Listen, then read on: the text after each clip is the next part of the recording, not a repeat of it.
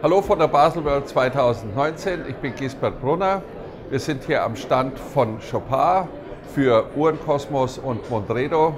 Karl Friedrich Schäufele, der Co-Präsident von Chopin, gibt sich die Ehre eines Interviews mit uns.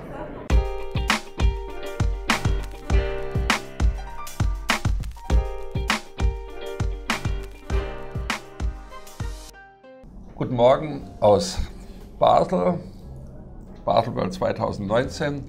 Es ist mir eine ganz große Ehre, hier zusammenzusitzen mit Herrn Karl Friedrich Schäufele, dem Co-Präsidenten von Chopin, einem, ich darf das so sagen, Herr Schäufele, einem der letzten großen und bedeutenden Uhrenunternehmen in privater Hand in der Schweiz, nachdem viele inzwischen unter dem Dach von Gruppen sind.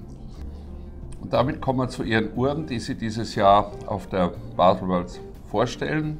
Können Sie aus Ihrer Sicht ein bisschen was erzählen zum 2019er Millimilia Modell? Dieses Jahr ist es die Millimilia äh, GTS, die äh, dieser limitierten Edition zugrunde liegt, mit einem wunderschönen anthrazitfarbenen Zifferblatt, mit der Startflagge hier hinten graviert und äh, den Drückern die auch äh, jeweils äh, das Thema Grip. Auto, den Grip, Grip. Äh, wiederholen. Also auch das gelochte Armband. Das natürlich. Auto und was alles, was dazu gehört. Mit dem Reifenprofil hier innen ähm, ist überall äh, wiedergegeben. Mhm.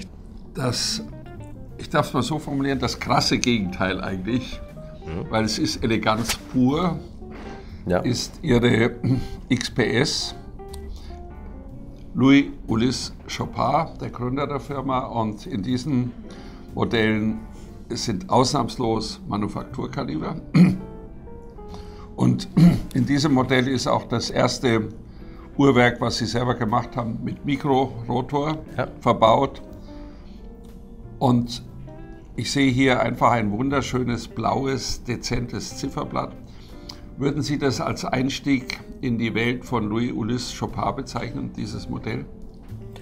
Ja, also die XPS hier in Stahl äh, mit einem schönen mattierten Fläche auf der Seite und äh, dem äh, 1,96 Basiswerk, allerdings in der Ausführung Evo. Mhm.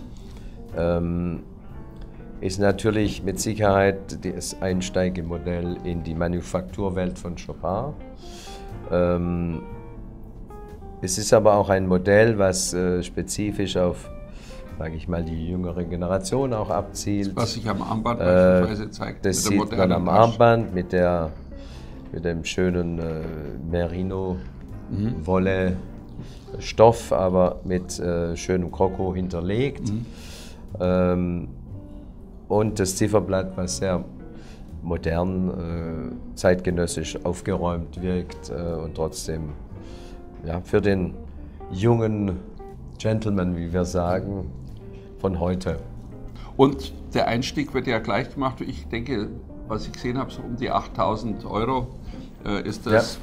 Ja. Und damit ist man wirklich für moderates Geld in der Welt Unbedingt, von L. Ja. U. Chopin. Aber daran, daran liegt uns natürlich auch, weil äh, auch die, sage ich, jüngere Generation soll ja sich sowas leisten können.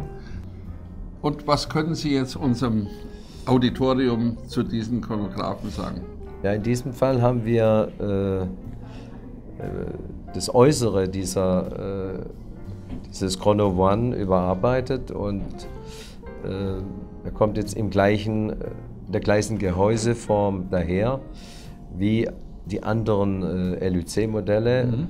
Also das heißt, wir haben die, die Anstoße überarbeitet. Äh, es ist ein sehr schön ergonomisch am Handgelenk. Die Uhr liegt unheimlich gut mhm. am Handgelenk und äh, die Größe ist äh, meiner Ansicht nach für die heutige Zeit eine, eine gute Größe. Und das Datum ist auch sehr gut ablesbar. Ja. Und ähm, wir haben auch das matte Finish auf der Seite. Also die, die Uhr wurde, das Gehäuse wurde rundum neu gearbeitet. Mhm. Schöne Drücker, schön integriert. Also Attention to Detail in, in jeder Hinsicht.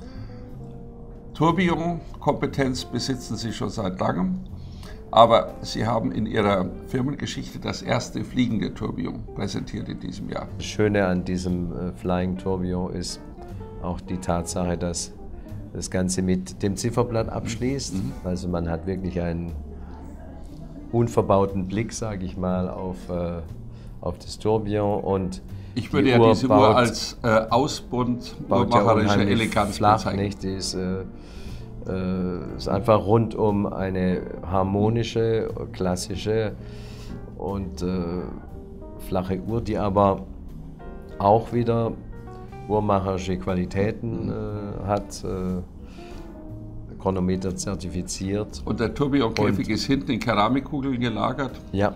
Und, und ich denke, sollte. Wir haben 70, äh, wir erreichen 70 Stunden Gangreserve oder sogar mehr. Wir geben nur 65 an. Aber ich kann es Ihnen sagen, wir, die Gangreserve übersteigt das, was wir ursprünglich äh, geplant hatten.